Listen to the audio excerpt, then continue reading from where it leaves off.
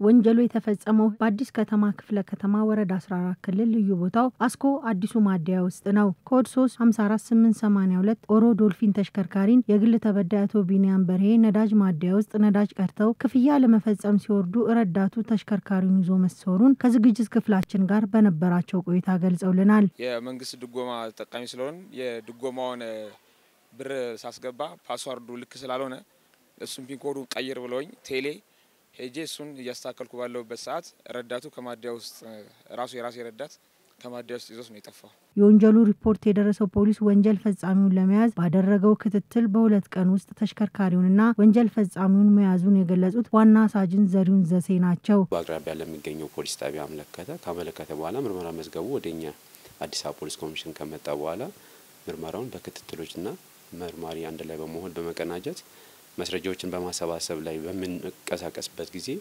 መኪናዋን ከአቃቂ ቃሊቲ ክፍለ ከተማ ወረዳ ሶስት ልዩ ቦታ ቱሊ ደምቱ ከሚባለው ቦታ ተጠርጣሪውን እስከነ መኪናው ለመያዝ ተችሏል። ተሽከርካሪያቸው የተገኘላቸው አቶ ቢኒያም መኪናቸው በአጭር ጊዜ ውስጥ በመገኘቱ መደሰታቸውን ገልጸዋል።